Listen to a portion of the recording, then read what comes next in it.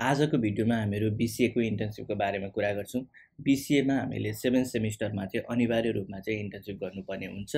So त्यो कारणले गर्दाखेरि इन्टर्नसिप भनेको के हो र इन्टर्नसिपमा चाहिँ हामीले कुन कुन फिल्डमा चाहिँ इन्टर्नसिप गर्न मिल्छ र कुन कुन फिल्डलाई चाहिँ हामीले इन्टर्नसिपको लागि एभोइड गर्नुपर्छ र इन्टर्नसिपको टाइम पिरियड चाहिँ कति हुन्छ। र सबै जति पनि कुराहरू छ तपाईँको इन्टर्नसिपको बारेमा त्यो सबै कुराहरू यो भिडियोमा चाहिँ हामीले कुरा गर्नेछौँ।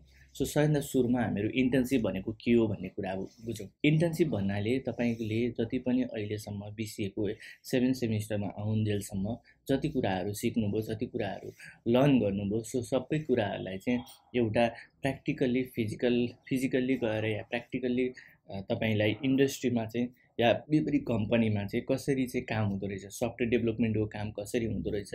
युआइयुएस डिजाइनरको काम कसरी हुँदो रहेछ? होइन क्वालिटी एसुरेन्सको काम कसरी हुँदो रहेछ? डे डेभअप्स इन्जिनियरको काम कसरी हुन्छ? र आफ्नो सेक्टरको आइटीमा जति पनि सेक्टरहरू छ त्यो सबै सेक्टरमा चाहिँ कसरी काम हुँदो रहेछ? इन्डस्ट्रीमा चाहिँ नयाँ प्रोजेक्ट आइसकेपछि चाहिँ त्यो प्रोजेक्टहरूलाई चाहिँ ग्रो थ्रु कसरी हुँदो रहेछ? र सबै कुराहरू इन्टर्नस इन् इन्टर्नसिपमा चाहिँ तपाईँले सिक्ने एउटा अपर्च्युनिटी पाउनुहुन्छ। र यो चाहिँ फाइनल इयर स्टुडेन्टलाई चाहिँ मार्केटमा गएर चाहिँ एउटा इन्डस्ट्री एक्सपिरियन्स एक्वायर गर्नको लागि चाहिँ डिजाइन गरेको यो कोर्स हो। र यो कोर्सले चाहिँ अरू के भन्छ त भन्दाखेरि सबभन्दा सुरुमा अर्को प्रश्नहरू धेरैजनाहरूको आउँछ कि इन्टर्नसिप चाहिँ हामीले कुन कुन फिल्डमा गर्न मिल्छ भनेर। बिसिएको हकमा? बिसिए भनेको कुनै एउटा आइटी रिलेटेड कोर्स भएको कारणले गर्दाखेरि बिसिएको हकमा चाहिँ के भनेको छ भन्दाखेरि नेचर अफ इन्टर्नसिप भनेको छ। नेचर अफ इन्टर्नसिपमा चाहिँ के भन्छ भन्दाखेरि the internship work shall be related to the computer application and information technology यसले क्लियरली मेन्सन के गरिदियो भन्दाखेरि तपाईँको इन्टर्नसिप चाहिँ कुन फिल्डमा हुनुपर्छ भन्दाखेरि जसमा चाहिँ कम्प्युटर रिलेटेड वर्कहरू होस् होइन कम्प्युटर एप्लिकेसन या इन्फर्मेसन टेक्नोलोजी रिलेटेड वर्क होस् त्यहाँ चाहिँ तपाईँले इन्टर्नसिप गर्न सक्नुहुन्छ। जस्तै तपाईँले युआइयुएक्स डिजाइनिङमा इन्टर्नसिप गर्न सक्यो। क्वालिटी एसुरेन्समा इन्टर्नसिप गरियो वेब डेभलपमेन्ट भयो मोबाइल एप्लिकेसन डेभलपमेन्ट भयो नेटवर्किङमा भयो होइन? र डेटाबेस इन्जिनियरिङहरूमा भयो होइन? डेटा एनालिटिक्समाहरू भयो होइन? डिफ्रेन्ट फिल्डहरू छ बिजनेस एडमिनिस्ट्रेसनमाहरू भयो बिजनेस एनालिटिक्समा भयो होइन? यस्ता विभिन्न सेक्टरहरू छ होइन आइटीको त्यो सबै सेक्टरमा तपाईँले काम गर्न सक्नुहुन्छ। र अब अर्को कुरा जो इन्टर्नसिप चाहिँ हामीले कुन कुन सेक्टरलाई चाहिँ एभोइड गर्ने त कुन कुन सेक्टरलाई चाहिँ नगर्ने त या कुन कुन सेक्टरलाई चाहिँ यो यो सेक्टरमा चाहिँ हामीले गर्नु हुँदैन है भनेर भन्दाखेरि चाहिँ सबभन्दा मेजर कुरा आउँछ तपाईँले जहाँ चाहिँ कम्प्युटर रिलेटेड वर्कहरू हुँदैन जस्ट तपाईँको पेपर रिलेटेड वर्कहरू या डेटा इन्ट्री टाइपको वर्कहरू भयो भने चाहिँ त्यस्तो फिल्डलाई चाहिँ तपाईँले एभोइड गर्दाखेरि बेटर हुन्छ।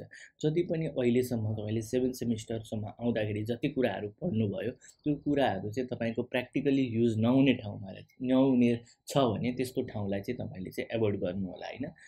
सो इन्टर्नसिप चाहिँ कुन फिल्डमा गर्ने र कुन फिल्डमा नगर्ने भन्ने कुराहरू मैले क्लियरली भनिहालेँ। अब नेक्स्ट कुराहरू आउँछ इन्टर्नसिपको टाइम र पिरियडको कुरा होइन? इन्टर्नसिप चाहिँ हामीले कति महिना गर्नुपर्छ?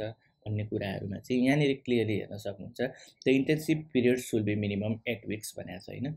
आठ हप्ता भन्ने बित्तिकै एट इन्टु सेभेन गर्दाखेरि फिफ्टी सिक्स डेज हुन्छ होइन? फिफ्टी सिक्स डेज भन्नाले एराउन्ड तपाईँको दुई महिनाको चाहिँ इन्टर्नसिप चाहिँ हुनसक्छ। सो मोस्टली हामीले इन्टर्नसिपहरू चाहिँ at least three to six मन्थको चाहिँ इन्टर्नसिपहरू चाहिँ कम्पनीहरूले चाहिँ अफर गरिरहेको हुन्छ। सो त्यो कारणले गर्दाखेरि चाहिँ यसमा तपाईँले कुनै पनि समस्या चाहिँ हुँदैन। सो नेक्स्ट कुराहरू के आउँछ भन्दाखेरि इन्टर्नसिप चाहिँ हामीले कहिले सुरु गर्ने त भन्दाखेरि three to four weeks three to four weeks of seven semester seven semester सुरु भएको तिनदेखि चार हप्ताभित्रमा तपाईँले इन्टर्नसिप चाहिँ सुरु गर्नुपर्छ भनेको छ। अब यसमा चाहिँ तिनदेखि चार हप्तामा इन्टर्नसिप सुरु गरेन भने चाहिँ एक्सेप्टै नहुने भन्ने चाहिँ होइन। तर सुरुमा तपाईँले अगाडि नै सुरु नै इन्टर्नसिप गर्नुभयो भने तपाईँले चाहिँ बेटर अपर्च्युनिटीहरू गेन हुन्छ। सो त्यो कारणले गर्दाखेरि चाहिँ सकेसम्म छिटोभन्दा छिटो इन्टर्नसिप गऱ्यो भने चाहिँ सेभेन सेमिस्टरको सुरुमै गरियो भने चाहिँ राम्रो हुन्छ। र तपाईँले पछि मिड तिर आएर गर्दा नि हुन्छ होइन नगर्न मिल्दैन। तर तपाईँको यो हुन्छ नि टाइम पिरियड एट विक्सको हो त्यो टाइम पिरियड चाहिँ विथिन अ सेभेन सेमिस्टरभित्र नै पुर्याउनु पर्ने हुन्छ। सो त्यो कारणले गर्दाखेरि चाहिँ समयमै इन्टर्नसिप गर्नुपर्ने हुन्छ। र इन्टर्नसिप चाहिँ अब कुन कुन गभर्मेन्ट सेक्टरमा गर्न मिल्छ नन गभर्मेन्ट सेक्टरमा गर्न मिल्छ भन्ने प्रश्नहरू हुन्छ धेरैजनाको। त्यसमा पनि यहाँनिर चाहिँ क्लियरली मेन्सनहरू गरेको छ है। Internship can be practised at government non government organisation having proper and appropriate computer appli application and information technology uses जुन सेक्टरमा जुन फिल्डमा जुन गभर्मेन्ट होस् या नन गभर्मेन्ट होस् या एनजिओ होस् या आइएनजिओ होस् होइन जुनसुकै फिल्ड सेक्टर होस् त्यो सेक्टरमा चाहिँ तपाईँले इन्टर्नसिप गर्दाखेरि चाहिँ जहाँ चाहिँ कम्प्युटर एप्लिकेसन र इन्फर्मेसन टेक्नोलोजीको युज हुन्छ भने तपाईँले त्यो फिल्डमा चाहिँ इन्टर्नसिप गर्न सक्नुहुन्छ र त्यो सेक्टरमा चाहिँ इन्टर्नसिप चाहिँ गर्न सक्नुहुन्छ भनेर यहाँ क्लियरली मेन्सन गरेको छ। अब अर्को मेजर कुराहरू आउँछ। अब काठमाडौँ भ्यालीमा हुनुहुन्छ भने चाहिँ तपाईँले इन्टर्नसिपहरू चाहिँ फिजिकल्ली गर्न सक्नुहुन्छ। किन भन्दाखेरि काठमाडौँ भ्यालीमा चाहिँ डिफ्रेन्ट टाइप्सको कम्पनीहरू डिफ्रेन्ट फिल्डको कम्पनीहरू होइन एउटा क्वालिटी एसुरेन्सकोमा पनि तपाईँले इनफ अपर्च्युनिटीहरू पाउनुहुन्छ मोबाइल एप्लिकेसनमा पनि इनफ अपर्च्युनिटीहरू पाउनुहुन्छ होइन? डिफ्रेन्ट सेक्टरको लागि चाहिँ वाइड सेक्टरको लागि चाहिँ तपाईँले चाहिँ इन्टर्नसिपको लागि अपर्च्युनिटी पाउनुहुन्छ। किन भन्दाखेरि काठमाडौँ भ्यालीभित्र चाहिँ धेरै कम्पनीहरू चाहिँ मोर देन हन्ड्रेड अफ कम्पनीहरू छ। सो त्यो कारणले गर्दाखेरि चाहिँ इन्टर्नसिप चाहिँ तपाईँले काठमाडौँ भ्यालीमा चाहिँ इजिली पाउनुहुन्छ। र अब भ्याली बाहिरको स्टुडेन्ट होइन? जुन चाहिँ काठमाडौँ भ्यालीभन्दा बाहिर हुनुहुन्छ उहाँहरूको लागि चाहिँ अलिकति समस्या हुन्छ के समस्या हुन्छ भन्दाखेरि आफ्नो सिटी तपाईँले बस्ने सिटीमा चाहिँ इनफ तपाईँको I information technology IT related कम्पनीहरू या त्यस्तो कम्पनीहरू चाहिँ इनफ हुँदैन। होला एउटा दुइटा होला होइन। सो त्यो थोरै हुँदाखेरि चाहिँ त्यहाँ चाहिँ अलिकति कम्पिटिसन पनि धेरै हुन्छ र तपाईँले चाहिँ सजिलै इन्टर्नसिप पाउन पनि गाह्रो हुन्छ। सो त्यो कारणले गर्दाखेरि तपाईँले अर्को होइन? रिमोट इन्टर्नसिप या अनलाइन इन्टर्नसिप गर्न पनि सक्नुहुन्छ होइन? अब अब तपाईँले काठमाडौँ भ्यालीमै हुनुहुन्छ भने तपाईँले चाहिँ रिमोट इन्टर्नसिप या अनलाइन इन्टर्नसिप चाहिँ एभोइड गर्नुहोला।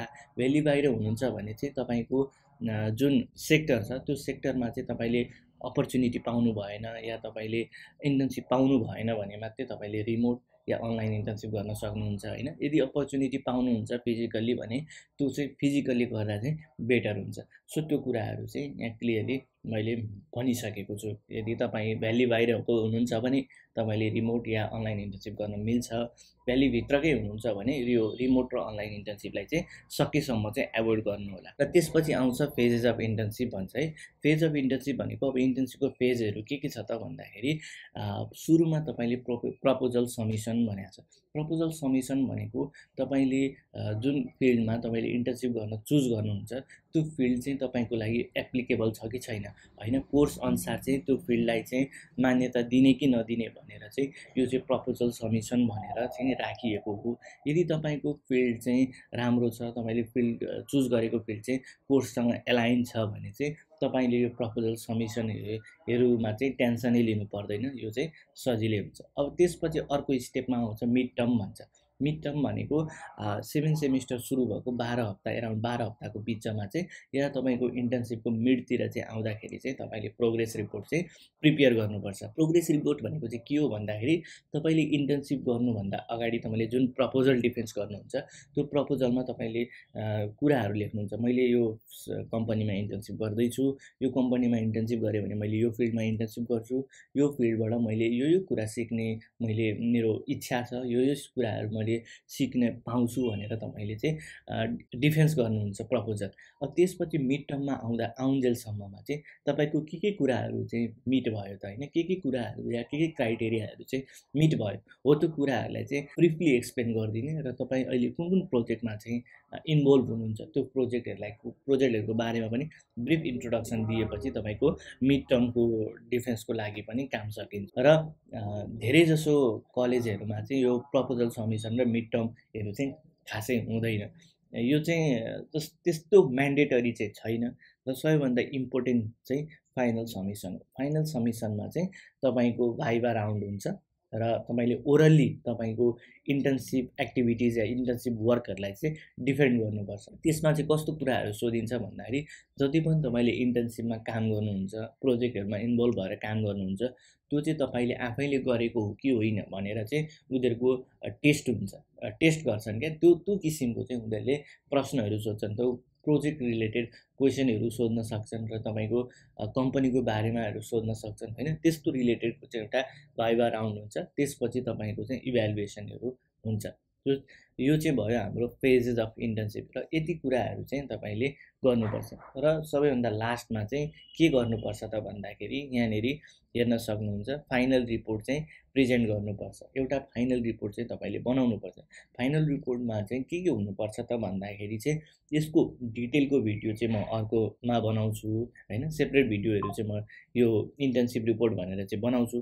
तर यसमा चाहिँ मैले अलिकति ब्रिफली कुरा गर्नु पर्दाखेरि सानो सर्टमा कुरा गर्नु पर्दाखेरि चाहिँ इन्टर्नसिप रिपोर्टमा चाहिँ तपाईँले जति पनि काम गर्नु भएको छ। इन्टर्नसिप पिरियडभरि या तिन महिना या छ महिनाको पिरियडमा चाहिँ जति काम गर्नुभएको छ त्यो कामहरूलाई चाहिँ एक्सप्लेन गर्ने त्यो काम कामहरूको एक्टिभिटिजहरूलाई चाहिँ डिटेल्ली एक्सप्लेन गर्ने र कुन फिल्डमा काम गर्नुभएको कम्पनीको बारेमा आफ्नो फिल्डको बारेमा यदि फ्रन्ट एन्ड डेभलपमेन्ट हुनुहुन्छ भने फ्रन्ट एन्ड डेभलपमेन्टको बारेमा कुराहरू चाहिँ अलिकति ब्रिफ लेख्ने अनि त्यसपछि अब तपाईँले के के काम गर्नुभयो? जस्तै मोबाइल एप्लिकेसनमा डेभलपमेन्टमा काम गर्नु भने एउटा मोबाइल को डिजाइन बनाउनुभयो होला त्यसपछि त्यसमा कोडहरू लेख्नुभयो होला त्यसपछि कोड लेख्दाखेरि तपाईँले कुन कुन प्रब्लमहरू आयो त्यो प्रब्लमलाई चाहिँ तपाईँले कसरी सल्भ गर्नुभयो होइन त्यो सबै कुराहरू चाहिँ डिटेल्ली एक्सप्लेन गरेर चाहिँ एउटा रिपोर्ट चाहिँ प्रिपेयर गर्नुपर्छ। हो त्यही रिपोर्टले चाहिँ त्यो रिपोर्ट लगेर चाहिँ तपाईँले चाहिँ फाइनलमा चाहिँ डिफेन्स गर्ने हो भाइबा राउन्ड हुन्छ त्यही अनुसार र त्यसरी चाहिँ यो इन्टर्नसिप चाहिँ तपाईँको सकिन्छ। र यो भिडियोमा चाहिँ मैले जति पनि कुराहरू भनेको छ यो कुराहरूलाई चाहिँ तपाईँले ध्यान दिनु होला इन्टर्नसिप को बारेमा सबै डिटेल कुराहरू गरेको छु। र अब नेक्स्ट भिडियोमा चाहिँ म इन्टर्नसिपको रिपोर्टको बारेमा चाहिँ कुराहरू गर्नेछु। सो आजको भिडियोमा यति नै। धन्यवाद।